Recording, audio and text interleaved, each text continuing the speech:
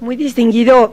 señor senador Roberto Gil Suárez, presidente de la mesa directiva del Senado mexicano. Gracias por tu presencia y tu compañía. Perdón.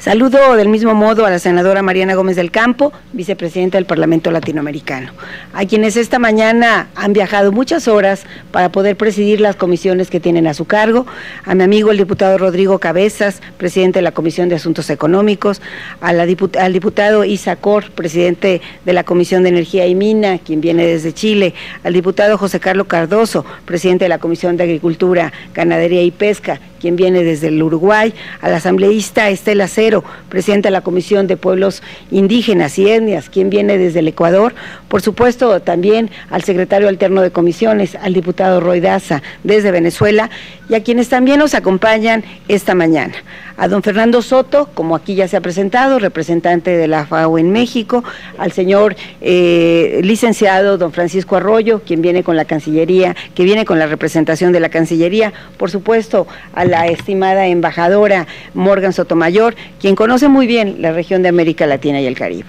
Quiero destacar del mismo modo la presencia de mis compañeras y compañeros senadores mexicanos, integrantes todos del Parlamento Latinoamericano y también del propio presidente de Copa, otra de las organizaciones que tiene que ver con la participación de los legisladores en toda nuestra región. Por supuesto, a todas y a todos ustedes sean muy bienvenidos. Quisiera primero agradecer al señor presidente del Senado su respaldo por hacer posible los trabajos de las comisiones del Parlamento Latinoamericano precisamente aquí en México. Reconocer en su dirección el espíritu democrático que alenta los trabajos del Senado mexicano, pero también su convicción de renovar la aspiración de una, de una sola patria, de una región de paz. Por supuesto, a mi amiga, la senadora Mariana Gómez del Campo, quien como vicepresidenta por México ha venido realizando en estos años un trabajo serio, puntual, coordinando la participación de los legisladores mexicanos en nuestro foro, pero también imprimiendo en el debate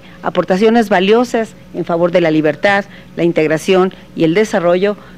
reflejo fiel del dinamismo que le caracteriza y sobre todo del compromiso que tiene con la región y con su patria. Por supuesto que la propia senadora Gómez del Campo ha realizado ya un resumen muy apretado de algunas de las tareas del Parlamento Latinoamericano. Permítanme a mí hacer una reflexión primero por el orgullo que representa que precisamente las comisiones se realicen aquí, en México, en mi país de origen y con ello también poder hacerlo en el marco de lo que esta mañana ocurre en nuestra región y ocurre también como referente del mundo. Precisamente en este momento ha iniciado la cumbre de Naciones Unidas que tendrá que discutir qué es lo que va a ocurrir para nuestros pueblos, para el mundo entero, en la próxima Agenda 2030. Y qué mejor oportunidad que podamos hacer coincidir la temática de cada una de nuestras comisiones con también los retos y los desafíos que enfrenta América Latina y el Caribe. Como se ha señalado, iniciamos este trabajo en, eh, un ambiente de enorme eh, volatilidad, de enormes desafíos en el tema de la agricultura, de enormes retos para la participación política de las mujeres y sin duda esto se ve reflejada en la agenda que cada uno de los presidentes de las comisiones han confeccionado para desarrollar esta mañana. Se trata de objetivos inclusive mucho más ambiciosos que lo que veníamos realizando. Objetivos en donde lo que estamos buscando es cómo erradicar la pobreza, cómo poner fin al hambre, cómo garantizar una vida saludable, cómo lograr tener una educación de calidad, cómo hacer que efectivamente exista la igualdad de géneros, la disponibilidad y sustentabilidad del agua, cómo poder tener acceso a energías limpias, además de tomar medidas urgentes para combatir el cambio climático y sus efectos cómo conservar los océanos, cómo lograr que proteger y restaurar los ecosistemas, combatir la degradación de la tierra y frenar la pérdida de la diversidad biológica. Esto se está discutiendo en Naciones Unidas y esto se está discutiendo aquí en México por las comisiones del Parlamento Latinoamericano. Me parece que sin duda representa ello una muy feliz coincidencia, pero también un enorme desafío. El tema de la innovación tecnológica, por ejemplo, está asociada a la degradación de los suelos, a la restauración de los ecosistemas, a la forma de generar una mayor capacidad de producción de, alimentos. Y por ello también me complace mucho que esta mañana la participación de la FAO y del propio y de la propio y del propio ICA nos permita poder construir las sinergias que se requieren para hacer del conocimiento la mejor herramienta para construir las leyes adecuadas, las instituciones pertinentes y las soluciones que nuestros pueblos están demandando. De eso se trata, señor presidente, el trabajo que venimos realizando en el Parlamento Latinoamericano. Efectivamente, para mí es muy honroso que desde hace varios meses, de manera unánime, se haya manifestado y conformando una planilla que nos permite la representación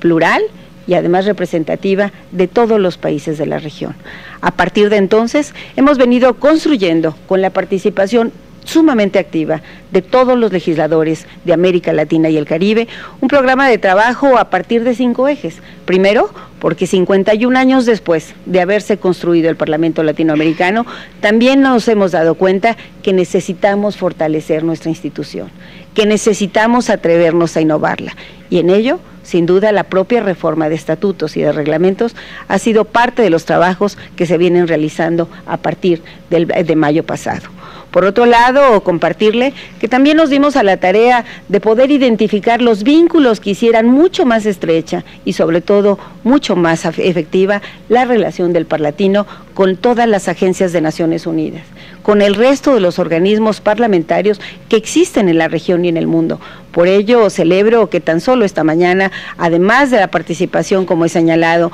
de la propia Organización Mundial de Alimentos, estará con nosotros también la Organización de Naciones Unidas para la Mujer, discutiendo y abordando lo que queremos aportarle a la región, la norma marco en materia de democracia paritaria. Por supuesto que también en el Parlatino sabemos que nuestro interés es poder tener y hacer elevar la voz de la región en los temas de la agenda global. Y en ello compartirles, amigas y amigos parlamentarios, que hemos dado pasos sólidos, tan solo en un tema en el que el Senado mexicano, dicho sea de paso, ha puesto también un especial énfasis, como es el caso del cambio climático. Hemos iniciado ya una recopilación de los aportes legislativos que en toda la región se vienen realizando en materia legislativa y en breve habremos de presentar para consideración de la propia cumbre en materia de cambio climático cuáles han sido los aportes, cuál es el balance que en América Latina y el Caribe existe en la materia y cuál es el compromiso que hacia adelante nos proponemos realizar.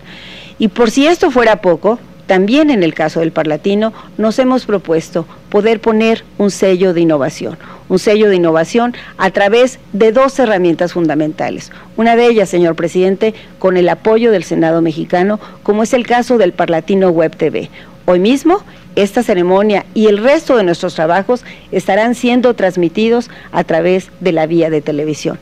Nuestros ciudadanos aquellos electores que nos votaron, aquellos a quienes tenemos que rendir cuentas, estarán conociendo qué es lo que estamos discutiendo, qué es lo que estamos aportando y sobre todo qué es lo que nos estamos comprometiendo. Nos parece que en cada uno de nuestros países el tema de la rendición de cuentas va más allá de lo que implica la formulación de las leyes, sino el ejercicio cotidiano que sus legisladores, que quienes hacemos estas leyes, hacemos de cara a los ciudadanos. Y finalmente, compartirles que también hemos decidido, con el apoyo de todas y todos, poder ir construyendo la comunidad parlamentaria del conocimiento. Sin duda, la participación de los legisladores, la interrelación con quienes están al frente del Poder Ejecutivo, la participación valiosa de académicos que tan solo esta mañana incluso también nos acompaña el doctor Guillermo Arón Sánchez, rector de la Universidad de Occidente, de Occidente de México, forma parte de los esfuerzos que estamos impulsando